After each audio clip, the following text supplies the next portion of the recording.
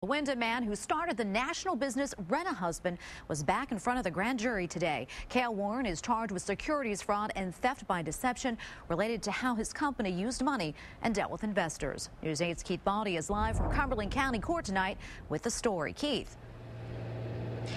Well, Tracy, the founder of Rent-A-Husband wanted his day in court. Today, he got it. After months of being under scrutiny by state prosecutors and then finally being indicted for fraud, today Rent-A-Husband founder Kaile Warren was back in front of a grand jury. But this time it was to plead his case personally. The truth had to come out, and it did come out today. The truth about the franchise Warren founded here in Maine and which landed him in court. State prosecutors say Warren misled investors by taking their money when he knew his business was failing and also using some of their money for personal expenses something Warren says is far from fact. It's my life. It's my life.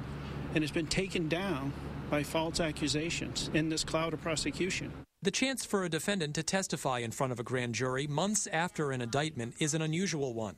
But Warren's attorney says it came about because prosecutors indicated they are seeking what's called a superseding indictment, meaning possibly more charges against Warren or others involved in the case.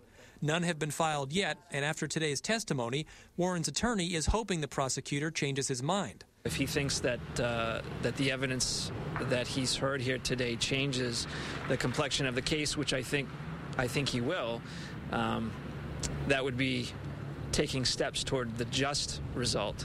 Which, in Warren's eyes, would be a dismissal of the charges and understanding that this was a misunderstanding. I want to get Rent-A-Husband back on track, get it back where it was, put this chapter behind me, and I'm simply asking the Attorney General's office and the grand jury members to do what they think is right. And we don't know what that might be since today prosecutors declined to comment. We're live in Portland, Keith Baldi, News 8.